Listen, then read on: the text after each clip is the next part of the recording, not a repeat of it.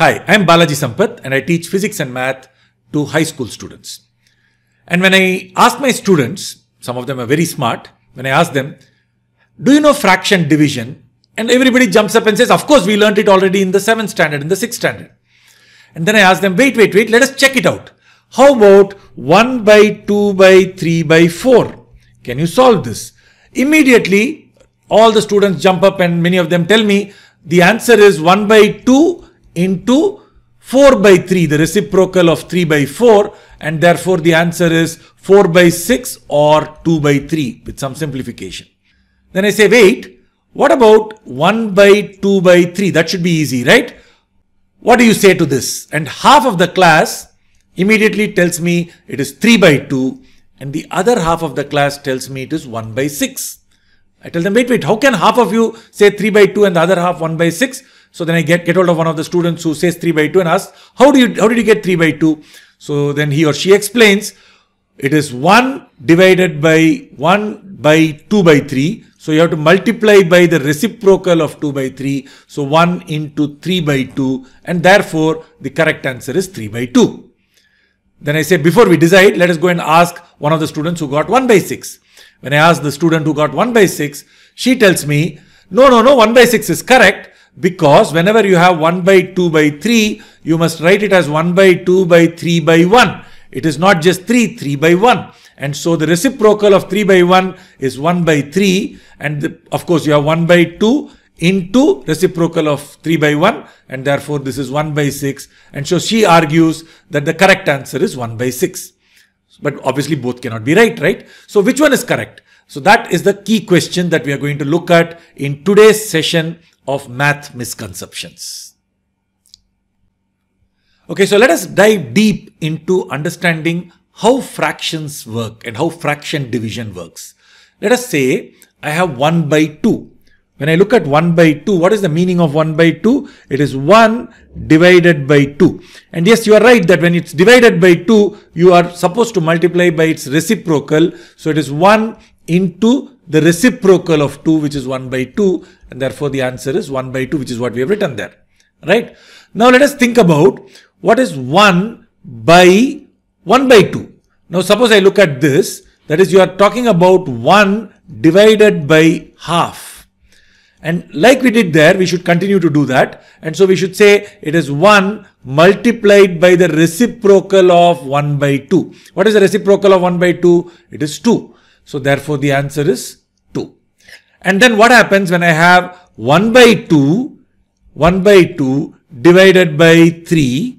That is, there is a fraction that I'm dividing by a natural number like this. Here I had, of course, a natural number 1 divided by 1 by 2. Here I'm talking about 1 by 2 divided by 3. It's 1 by 2 divided by 3. And so it is 1 by 2 into, well, whatever you are dividing it by, that you should take its reciprocal. So it is 1 by 3 and we do get 1 by 6 here. Now suppose I talk about 1 by 2 by 1 by 3. Let's try to find out what is that. So I have here 1 by 2 divided by 1 by 3. Okay, so I'm doing 1 by 2 divided by 1 by 3. This is very confusing way of writing it. So let us write 1 by 2 divided by 1 by 3. What is this? 1 by 2 into reciprocal of 1 by 3 which is basically 3. And so the answer is 3 by 2. So arguing this way if I get 1 by 2 divided by 3 by 4 what should I get? I should write this as 1 by 2 divided by 3 by 4 and therefore 1 by 2 into reciprocal of 3 by 4 4 by 3 which is why it is 4 by 6 or 2 by 3. Okay, that's just simplification. You're cancelling out the 2. So we know this, you know this uh, quite well. Let us now try to understand what is 1 by 2 by 3. 1 by 2 by 3 actually has no meaning because this is not very clear what you are talking about. You could be talking about 1 by 2 by 3 or you could be talking about 1 by 2 by 3. Depending on whether you're talking about that or talking about this, you have different answers. What is the meaning of 1 by 2 by 3? Let us write it down carefully. It is 1 by 2 divided by 3, which is 1 by 2 into reciprocal of 3 which is 1 by 3 and therefore 1 by 2 into 1 by 3 gives us 1 by 6. So 1 by 2 by 3 you could have an answer 1 by 6 if you thought it was 1 by 2 half divided by 3. Let's think about this. If it is half 1 by 2 was half divided by 3 it is much smaller than half because half you have taken half and you have cut it up into three parts so each part is going to be 1 by 6 but you could also say, no, no, no, it is not half divided by 3. It is 1 divided by 2 by 3. You have to take 1 and cut it up into two-thirds of, two-thirds pieces. Well, two-thirds pieces may not make sense, right, physically. But you're dividing 1 by 2 by 3. 1 by 2 by 3, write it like this. 1 divided by 2 by 3. Well, that is 1 into the reciprocal of 2 by 3, which is 3 by 2. So, yes, you do get 3 by 2. So this fellow 1 by 2 by 3 could have this answer. If you assume that the question means this, it could have this answer 1 by 6 if you assume the question means this. What does the question mean? Does it mean this? Does it mean this? Well, that is up to you. So whenever you write 1 by 2 by 3, it's a meaningless quantity because it could be 1 by 2 by 3 or it could mean 1 by 2 by 3. Depending on what you are talking about, your answer is going to vary and vary substantially. So always ask the question, what exactly are you asking for? What exactly is the calculation you want us to do? Based on what you want to do, your answer will change. Let us now look at 1 by 2 by 3 by 4. How come everybody gave the same answer to that? That is a problem. So now let us look at 1 by 2 by 3 by 4 most people assume, most people assume that this is actually 1 by 2 by 3 by 4. Okay, because this is the most common question that comes up in school. So it is 1 by 2 divided by 3 by 4. So obviously it is 1 by 2 into the reciprocal of 3 by 4 which is 4 by 3.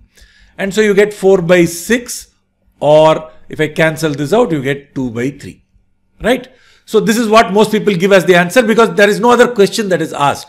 But that is not the only possibility because you could have meant that it is 1 by 2 by 3 by 4. This could have been the question that we asked. Maybe 1 by 2 by 3 by 4 means take 1 by 2 divide by 3.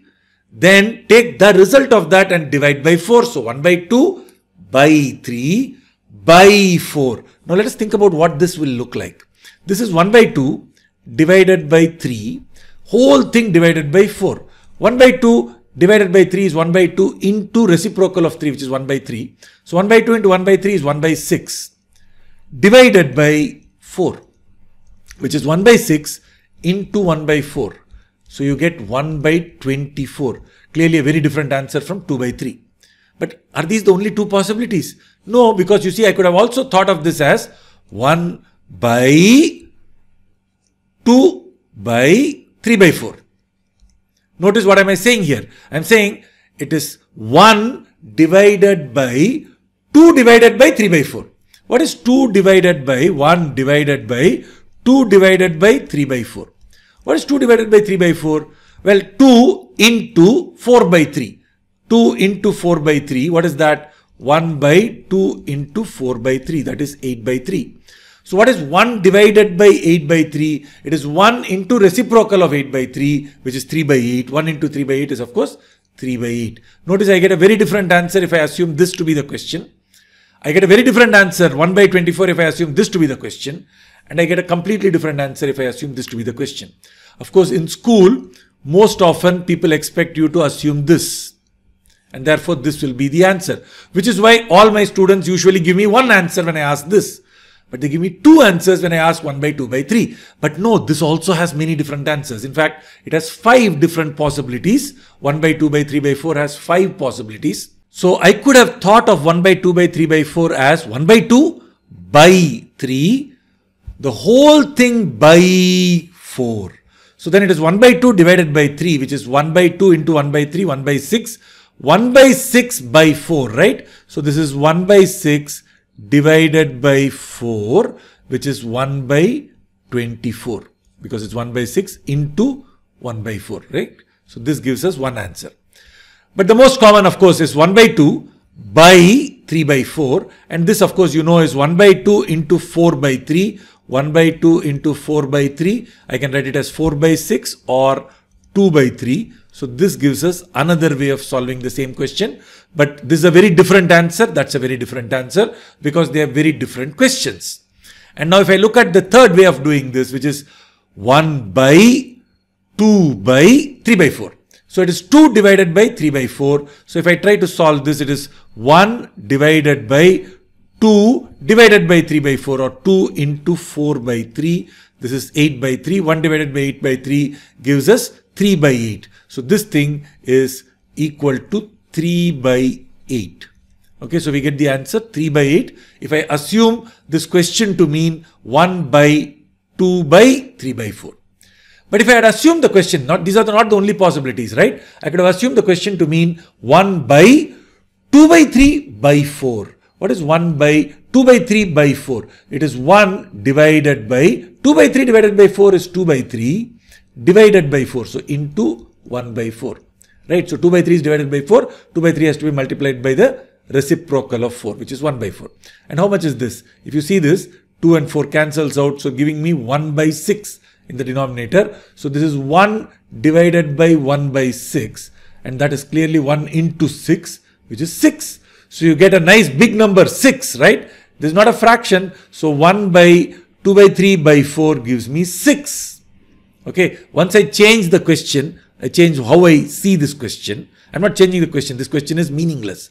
So, but I'm just saying I'm going to think of it as 1 by 2 by 3 divided by 4 and I get an answer 6.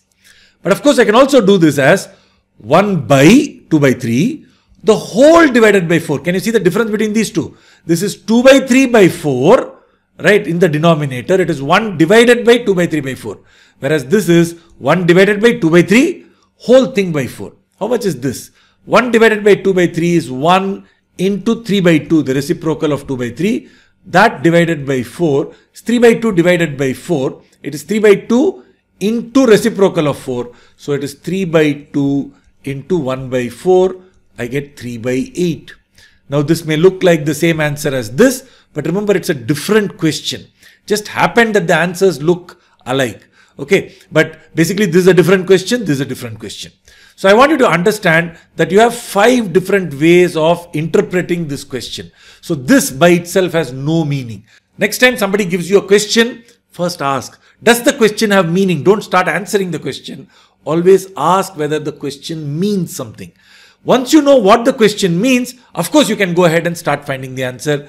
Next time somebody says, find out what is 2 by 5 by 7, don't answer. Ask, are you asking for 2 by 5 divided by 7 or are you asking for 2 divided by 5 by 7? Because these two have very different answers.